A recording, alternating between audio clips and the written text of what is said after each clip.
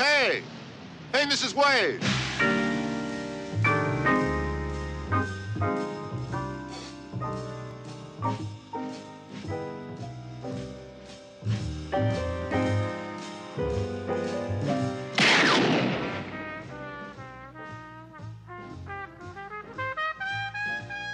There's a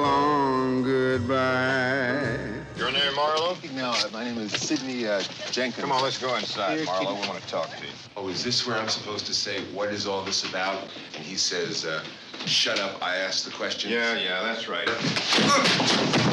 And it happens every day.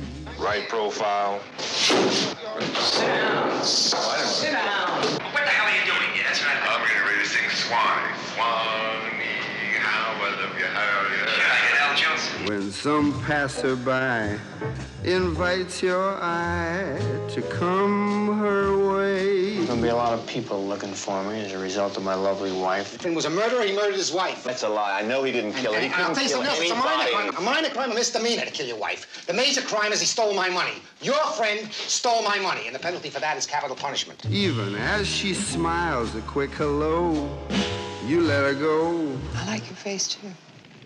Could you find my husband for me, please, Mr. Marlowe? You let the moment fly. I'm a man cannot stand confinement. Who the hell are you?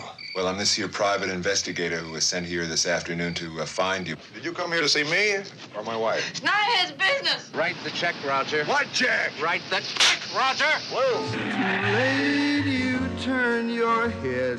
You know you said a long goodbye. You have a leg. You're a born loser. What do you think, Mabel?